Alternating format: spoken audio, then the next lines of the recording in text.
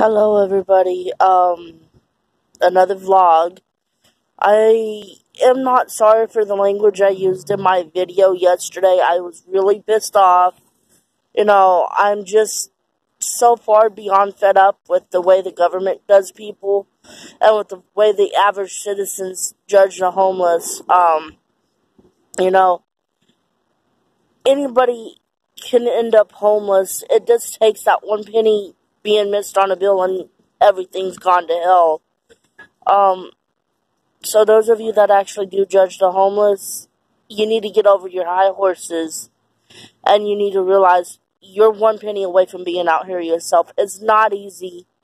It's not everybody's dream to be outside.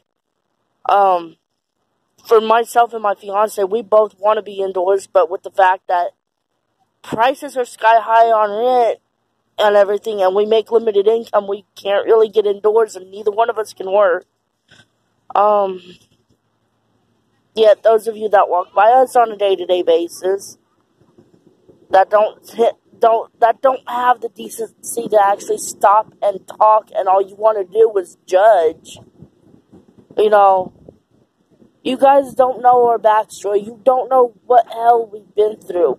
So judging us, you're just being a bully and in the long run judging yourselves. Um